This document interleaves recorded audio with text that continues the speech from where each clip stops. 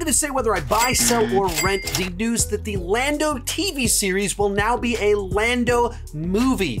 Lucasfilm told Variety that that project is currently being developed as a movie. This is not a rumor, this is not speculation. This is from Lucasfilm to a major outlet, and I sell this hard.